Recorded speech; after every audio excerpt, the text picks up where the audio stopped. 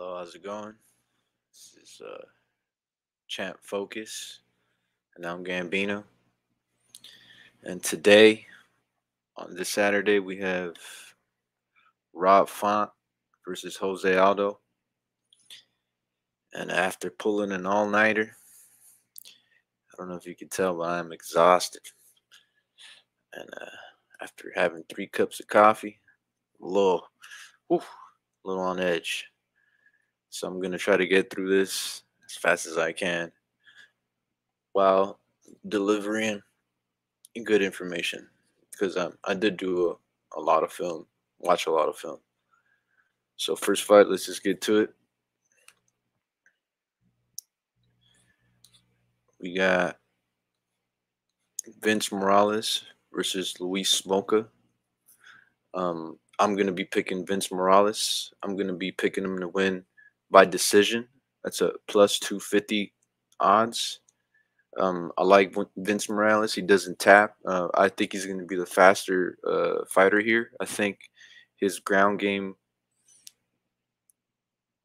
at least defensively, he'll be able to pop right back up when uh, Luis Smolka takes him down. And Luis Smolka hasn't gotten a submission since like 2015, some sometime around there. It's been quite some time.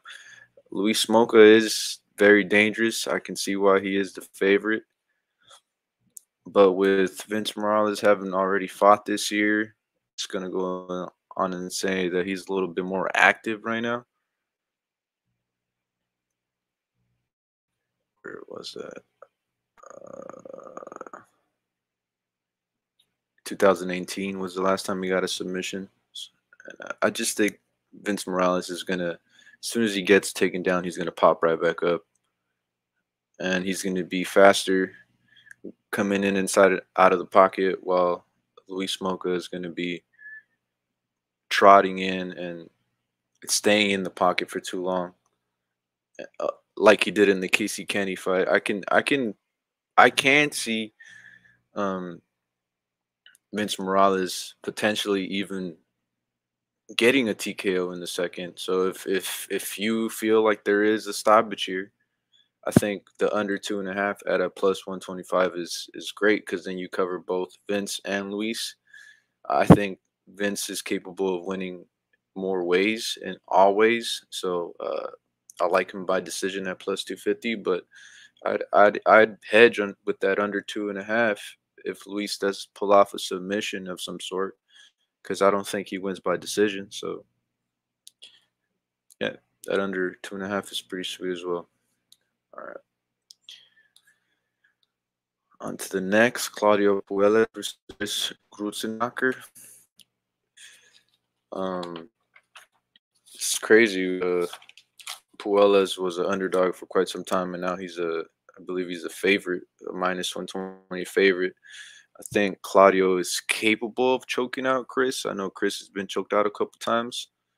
I know it says plus 100 here, but I've seen him other places at a minus 120. Um, so at inside the distance, it's a uh, plus 300.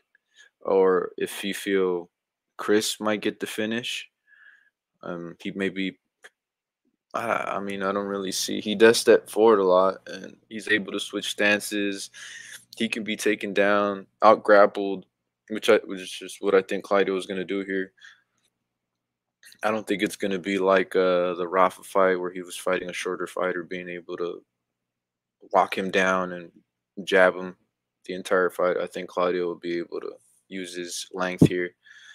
And as far as Claudio goes, uh, he's from Lima, Peru and uh you know that's one. Lima peru.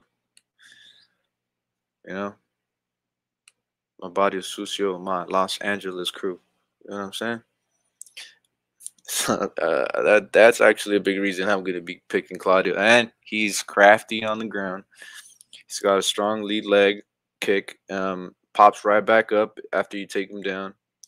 Um I just I think he's going to be the better grappler in this in this fight and long enough to keep up in the striking. So I just think he'll be the better overall fighter here. So I like him at a inside the distance at a plus 300. And yeah, I kind of just don't see this going the distance. So a safe bet would be the no at a at a plus 125. Um, let's see. On to the next. Alonzo Menifield versus William Knight. Um, I, actually, this is one of the fights I didn't do any film for because I have done it so many times before, and I'm just gonna stick with my initial pick, and that's William Knight.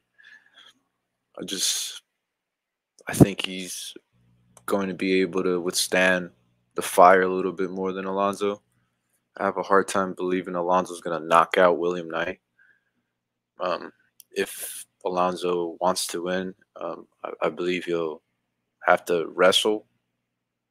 And I don't know how whose cardio is going to wilt first. And um, I just I believe William Knight's going to pull it off here. And um, betting him straight up is is the way to go to at a plus 140. I think he'll catch that counter left hook uh, that he hit Fabio with, and Alonzo will be the scared fighter in there running away. On to the next. Got Mallory Martin versus Cheyenne Bliss Vlismas. Cheyenne Vlismas. And um I got a Cheyenne here.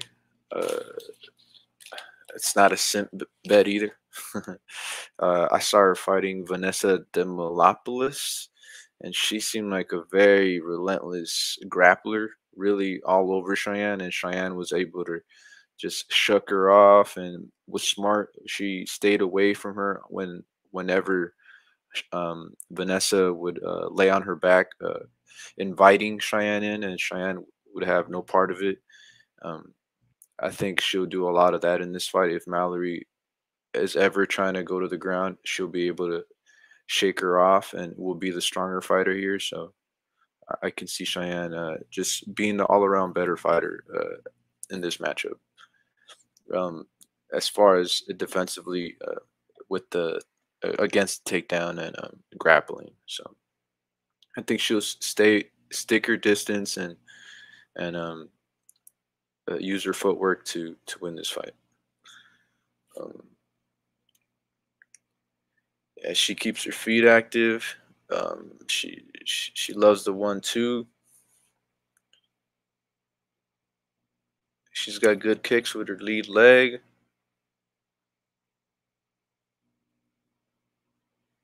And uh, she, oh yeah, she she actually had a similar uh, injury to Jamal uh, Jamahal Hills, where she uh, dislocated her elbow after uh, in that same uh, Vanessa fight, and uh, yeah, it's pretty cool. They should, I wonder if they, they know that about each other, but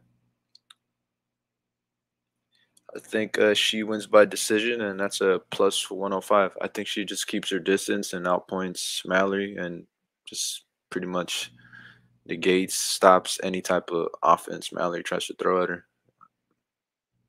And if Cheyenne does go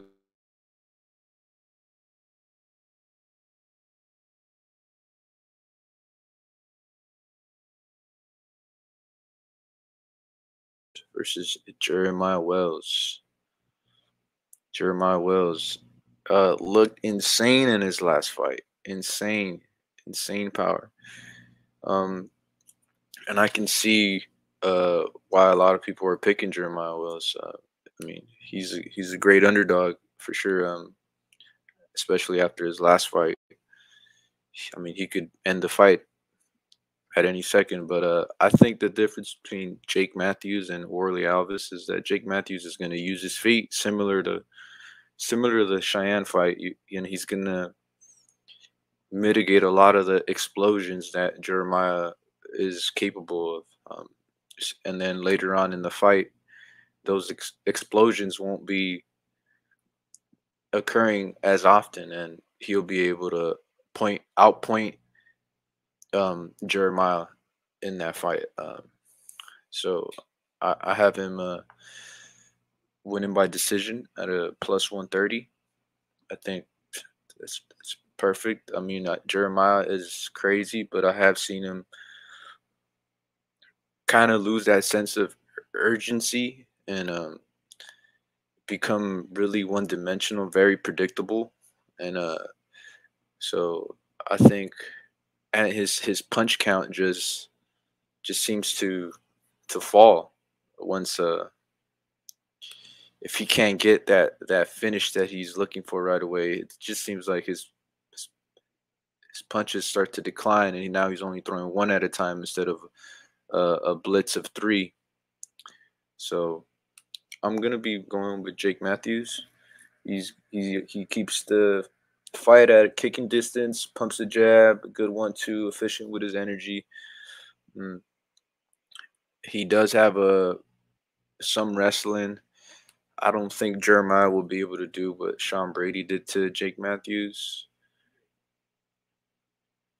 So uh, that's that's that's what I'm thinking.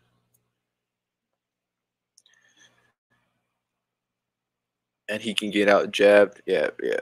We're going with Jake Matthews here by decision plus 130. And I, and I guess if you wanted to pick uh, Jeremiah, the I wonder what the under two and a half is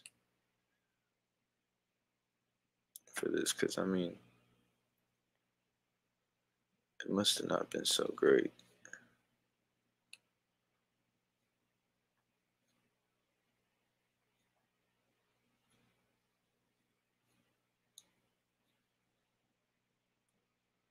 It's not even on up here. Okay. All right. we'll just go on to the next. Make make progress quick. We got Bryan Barberena, Barberena versus D- Darian Weeks and uh, I know uh, Weeks is coming in on like a week's notice, but uh, I, I, believe he was supposed to fight in the contender series, and some the fight fell through for some reason. Um, but here he is, ready to fight Bryan Barberena, and I have a feeling he had a he knew this fight was coming up. So uh, I like Darian here. Uh, he's gonna he's gonna be the stronger of the two, I believe and when it comes to the grappling, which is what Darian's going to want to do, um, he just seems, as of right now, like the younger, more brutal fighter. Even though I, I think Bryan is pretty young, but he's been through some injuries, and I believe he had a, a couple of hernia surgeries. And he couldn't beat Jason Witt. Uh, like you're supposed to knock out Jason Witt. Sorry, man. Jason Witt is very chinny, and in that fight, he himself seemed to get knocked down. So I think this young guy here is gonna come in and probably put him down. But I like the idea of just betting him straight up. He's a he's an underdog and he's young and if you wanted to bet him inside the distance, it's a plus 200. I mean, that's real degen, real generate, but straight up plus 110. I think that's that's the way to go.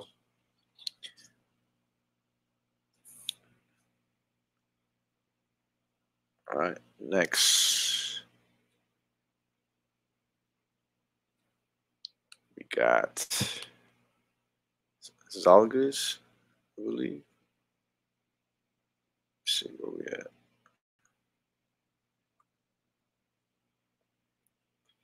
Zhalgas Zhumagulov versus Manel Cape.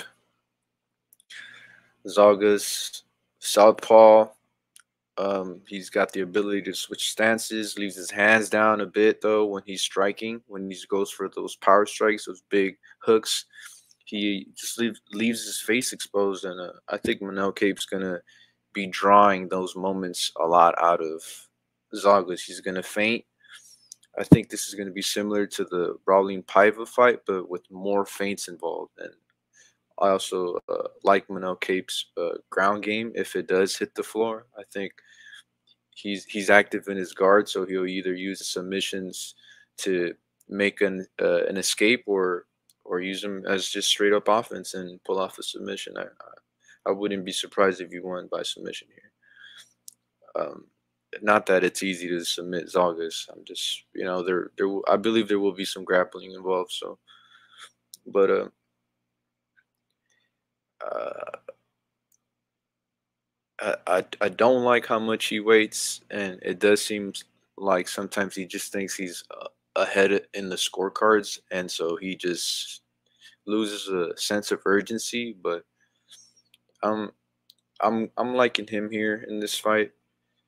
Uh, I think he'll be the more technical fighter here. Um, is more of a wrestler boxer, so I think Manel's uh, Manel's uh, grappling and wrestling will be sufficient enough to to beat Zhalgas.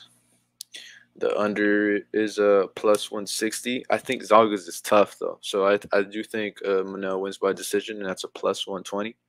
But yeah, if uh maybe I I, I don't I guess Zhalgas could win by a decision, so that that'd be the way to take Zhalgas, I guess, is only by decision.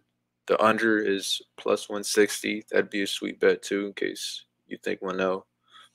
Or if you think anybody gets to finish, the under two and a half is plus 160. So that's definitely something I'll be putting in there. I like the unders two and a half, guys. You know, you never know what's gonna happen, and that's a good amount of time. Get plus odds on that. I feel like you gotta jump on it every time. Next, we got Maki Pitolo versus Dusko Todor Todorovic. Uh, coming into this fight, I was I was all over Maki Pitolo thinking he was gonna go in here and drop them coconut bombs on Dusko's chin because we've seen him get rocked by Punahele Soriano. But uh, after his last fight against um, Gregory Rodrigues, RoboCop, or Obama, whoever, whatever you want to call him, um, Dusko looked looked better. He looked better, and uh, if that Dusko shows up, I, he beats Maki Pitolo. He does. He was able to, and Gregory Rodrigues is a monster. Punahele Soriano is a monster. Dequan Townsend is a monster. They're all huge in their own ways, and now he, he gets to be the bigger guy on in the cage uh, this Saturday. So I like Dusko in this position. I feel like he's the fighter with more upside between the two. So I like I like I like Dusko here at a see what we got. I think I think it goes the distance. I think he just presses them up against the cage, presses the pace on Maki. Maki seems very tough. Um, I, I guess he could get a submission here. That's my only worry is is that he gets submission.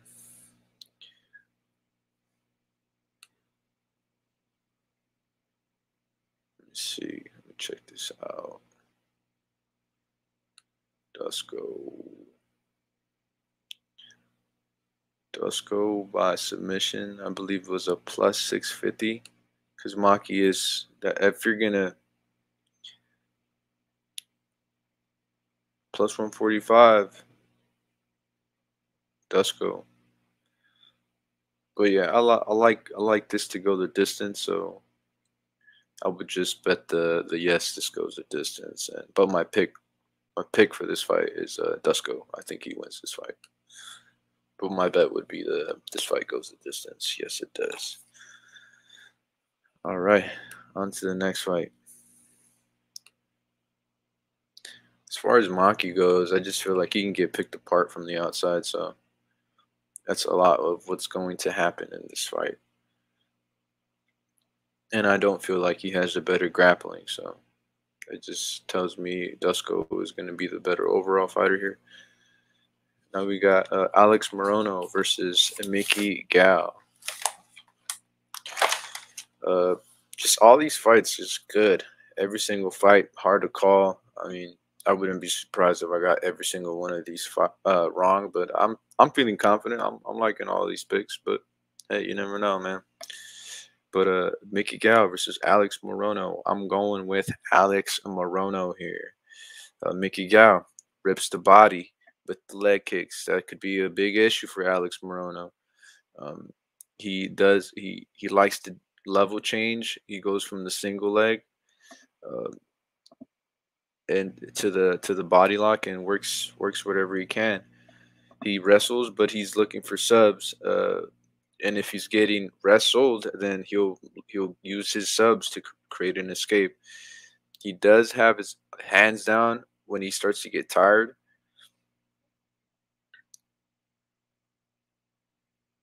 Um, he's he's got good speed in his hands, but he can get outworked um, in in those grappling positions. Uh, Mike Perry did a lot of that.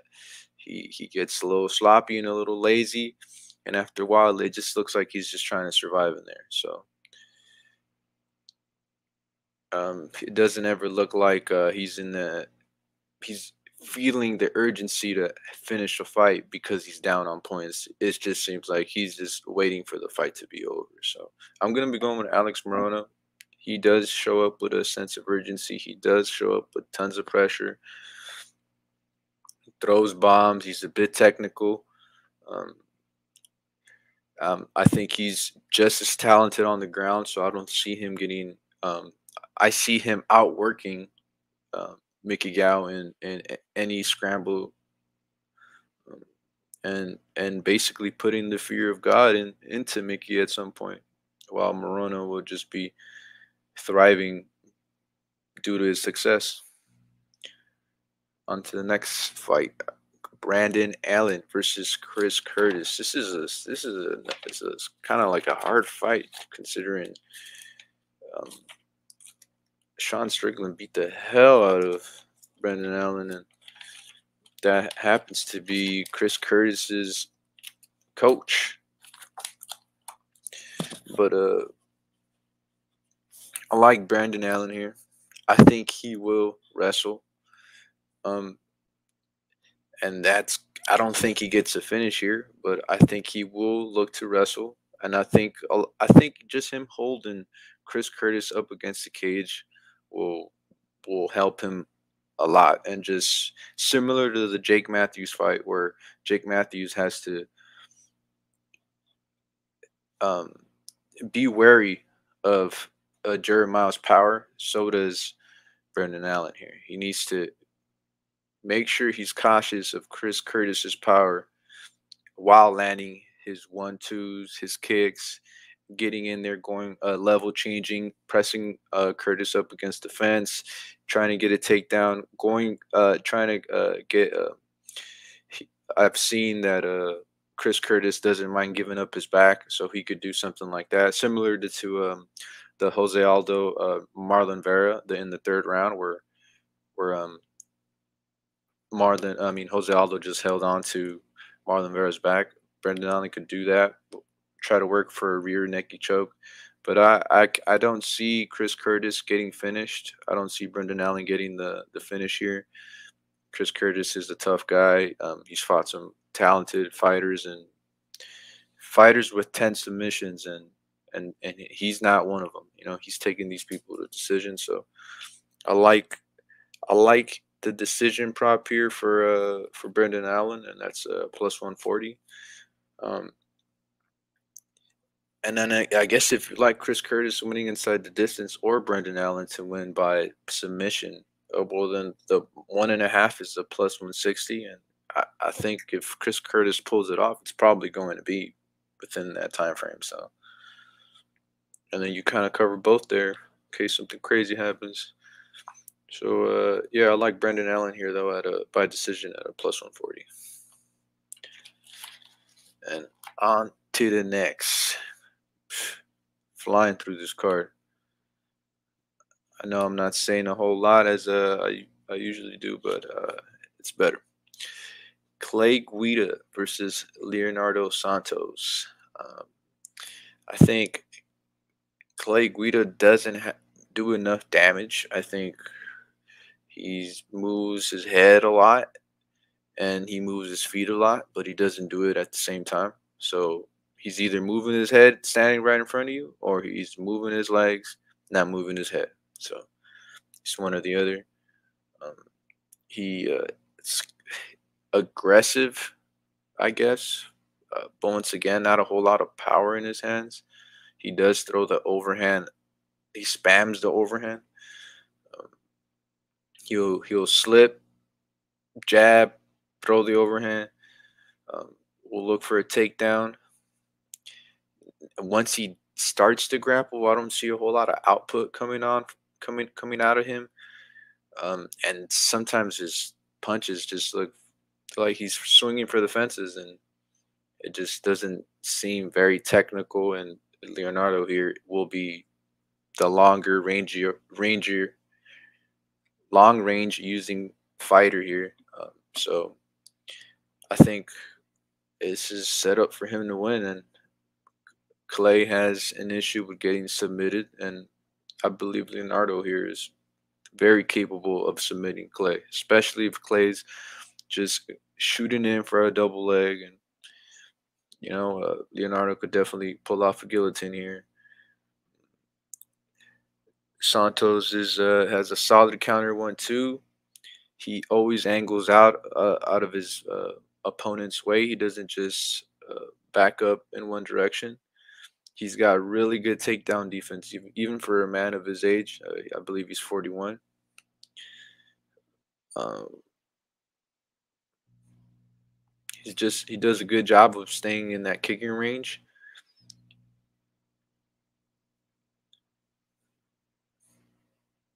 He he can be held up against the cage though, and in that Grant Dawson fight, I I could I thought Leonardo was winning more dominantly as I rewatched that fight. I I, I see that.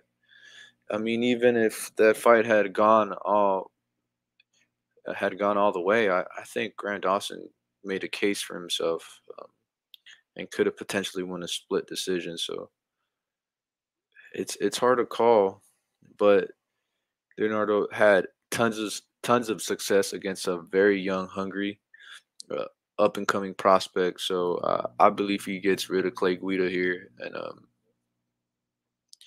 I mean he defended 13 takedowns in that fight against Grant Grant Dawson. So I think his takedown defense will be fine, and if all that's left is Clay Guida in open space against a long rangey striker. Well, I like the odds of that long range, uh, lengthy striker. So uh, Leonardo Santos. I like him by submission. So the under two and a half is a plus 145. I like that a lot. Um, if Clay Guida wins, the only way I see him winning is by him getting takedowns and somehow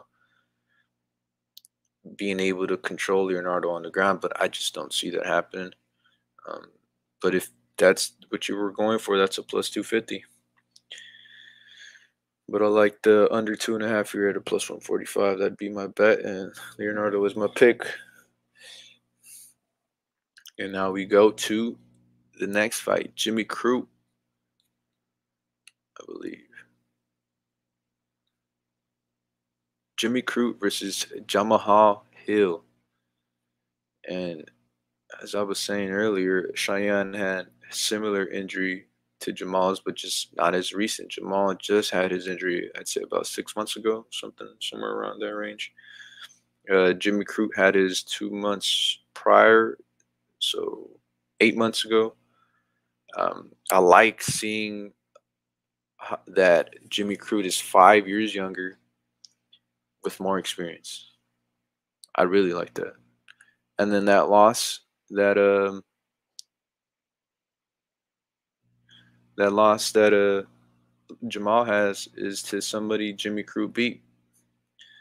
So I, I I'm going with Jimmy Crute here. It's pretty much obvious. Uh, explosive, relentless w- when he gets the body lock. Uh, just constantly looking for a more dominant position. Uh, if he can't get it, he's he's on you like a leech, grueling wrestling pace. Um, and once he takes you down one the first time, it just it gets easier for the guy. And yeah, it just if if he can't get it the first time, he, the uh, opponent's takedown defense, whether it's good, it starts to wear and it wears wears down quickly.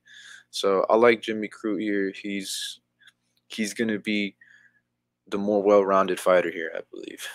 He's gonna be levels above Jamal Hill on the ground and just good enough in the striking to to pull off this win. Uh, I like Jimmy inside the distance. I I like him in uh, inside one or two. If, if you could find that somewhere, uh, I see that at a plus one twenty.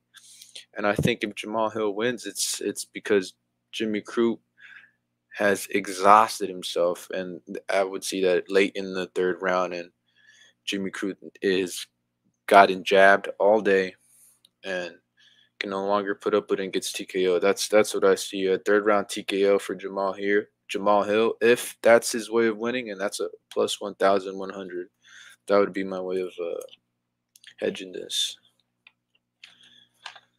So we got Jimmy Crute, first or second, plus 120. Next fight. Bet you can hear that coffee in me, huh? Kind of giving me the jitters. All right, Rafael Fiziev versus Brad Riddell. Both guys, incredible fighters here, very tough, bring always bring bring the fight.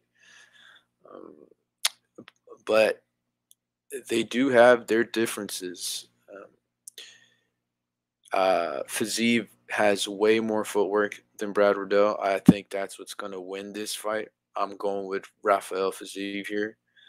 I was a little worried about uh, Fiziev because of Fiziev's uh, last fight. He he uh, I would I guess you could say he underperformed. There were some weaknesses that he showed with his cardio. But as I rewatched that fight, it's a lot of it had to do with just Bobby Green was making Rafael Fiziev miss. He Bobby Green has actual footwork, uh, uses his feints, rolls uh, with the punches. Um, I just don't think Brad Riddell is gonna have that same striking defense. I see Brad Riddell getting hit quite often in his fights. Um, I believe he was on his way to losing the Drew Dober fight, and then he caught Drew Dober with a with a good with a good counter, a right hand. He's a he's got a laser beam right hand, but uh, he reminds me of the Australian uh, zombie, you know, Korean zombie, but he's not Korean. He's Australian, and um, he uh, lures his opponents into the pocket. He's he's a, a, slower, more methodical fighter. Rafael is he's got smooth footwork. He's constantly bouncing, switching his feet up, switching his stances up, throwing his his opponents a variety of looks. And I just I think he's going to be too much for Riddell. Think he's going to be uh, too much for Riddell. I think he could even get the TKO here. I like the this fight does not go the distance at a plus at a plus 150. I think that's a, a beautiful bet. Um, I don't think Riddell outworks Fiziev And I don't think Riddell will even because he does panic he does uh he he happens to panic wrestle a lot. Wow, that that coffee is messing me up. Jeez. but uh, I don't think it's gonna do a whole lot of difference against Fiziev. I think he'll be able to stop the takedown and um, that'll that'll allow Rafael to take that number 11 and work his way up the lightweight rankings as I believe he deserves to be in a higher higher rank considering the opponents Rafael has beat. So I like the this fight does not go the distance at a plus 150. That's gonna be my bet. My picks Fiziev though.